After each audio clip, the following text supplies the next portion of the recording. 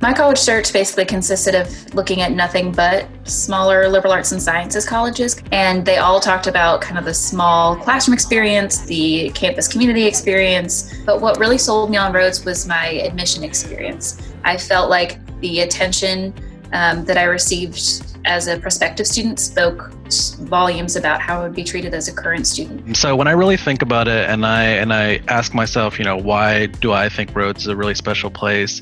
Um, when I was looking at colleges, it spoke to me in two very uh, unique aspects of, you know, it'll allow me to discover what I want to do professionally, but also at the same time, it'll allow me to grow into the person that I want to be.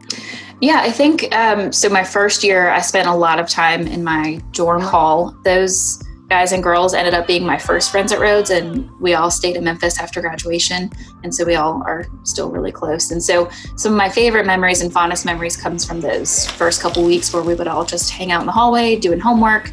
Um, our RA was a yoga instructor, so we would do hallway yoga during midterms and finals. I'm originally from South Carolina, and one of the things that my parents were really wondering about was what my residential experience would be like.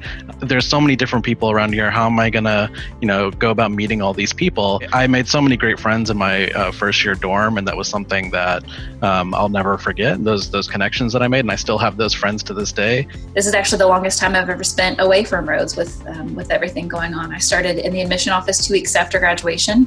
Um, so I've never been away from campus so long and I really miss it.